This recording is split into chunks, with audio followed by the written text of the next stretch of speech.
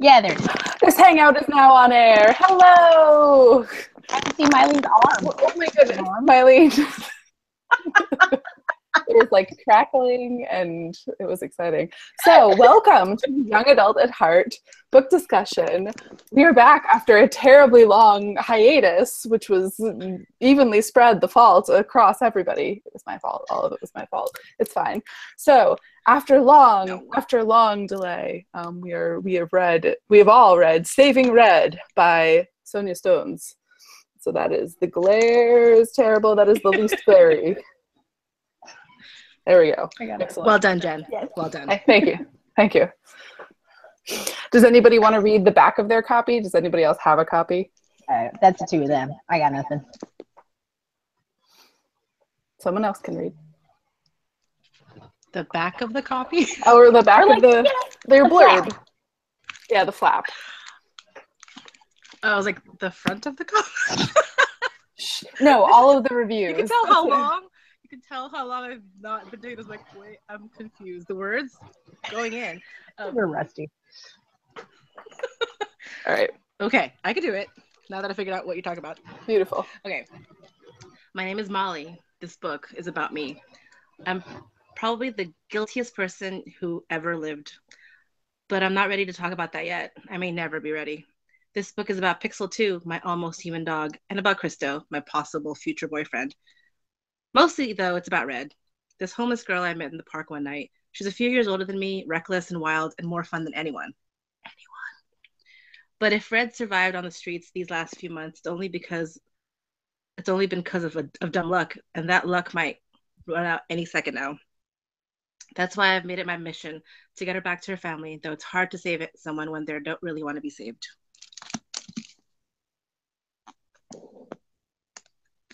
That's it. And it's quiet. Beautiful. I said beautiful, but I was muted because we were trying to be polite. So, um, yes, lovely. Um, so, what is? there is really what is that scary. So there's a science fiction monster. Apparently, apparently, our Lord Cthulhu would like to become on the book creepy girl's gonna pop up in the back of somebody's image and I'm gonna have to run. you know when the screen like blinks and then like there's the black. Yeah, like, that's oh, so this is this is why we don't read books that are in verse because our Lord Cthulhu is apparently a fan. Um, but so this is um, so the book is written and you can see kind of yeah i'm just going to go to an actual page so it is written like a poem all the poem so much poem there's all the very poem. Very poemy.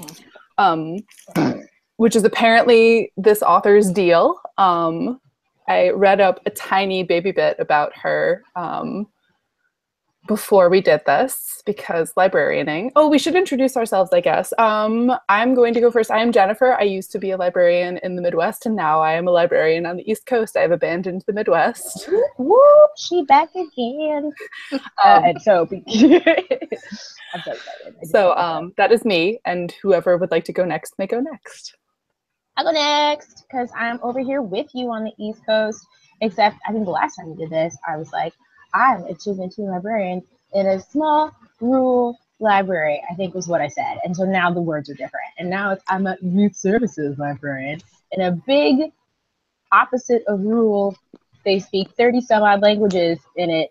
Big town. Yeah, yo, dude. Oh my god. Awesome. What language anyone's gonna speak. Like someone walks up to you and you're like, I don't I'm not prepared for anything um, someone walked into oh so i'm in the, in the in a branch and on a bookmobile. Someone walked into my bookmobile these two women entered speaking to me in rapid french. And i just went and they go no? I said no.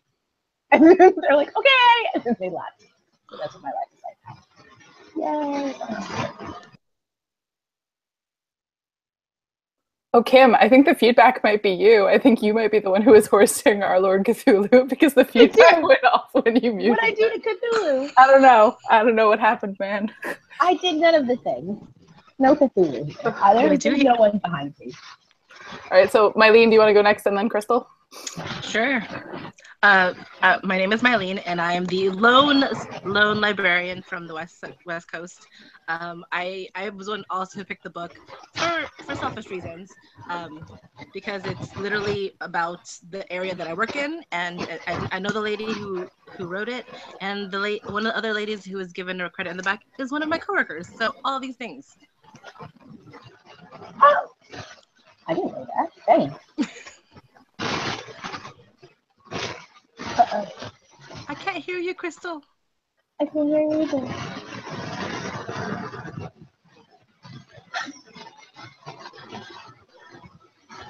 Take your headphones Because out. it was totally See if that makes talking. This is on the headphone. Crystal, do you want to jump off and jump back in? Crystal is do going to do that. Mylene, I didn't know that I didn't know why you picked the book. I didn't realize that like it was right where you worked and that it was um, you knew the person who like wrote a good blurb. Exactly. She she's um, done a few of our writing workshops over the summer, and or maybe just one. And I I'm confused. I'm possibly possibly confused. But she's also the good um, my coworker and her are good friends. So when it came out, I was like, oh my gosh, I'm gonna pick it up because it has to do with a teen. And so Santa I the location of this takes place like a block away from where I work. And they did not know, mention the library not one time in that book. They do, they do. They go to the good- library do? and Okay. they watch a movie. They watch um It's a wonderful Good. life. It's a Wonderful Life. I don't remember any of that. Y'all did me very confused. Let's see if we can hear Crystal. No, No. We've got nothing. Oh, Crystal. Crystal. Unplug your headphones and maybe see your computer. No, is that also a silly phone? Could you try and do it on your phone? You might have to download Google Hangouts or something. Yeah, most phones come with a program. I'm wondering, maybe I can kill this and start it all again. Will it just stop? Kill it because Cthulhu's getting louder. Yeah, okay. We're gonna What did I do? I can't hear any It's not even you. Oh, we're gonna stop. I'm gonna create a new one, and then we're gonna try this again. Yes, we will try again. Okay.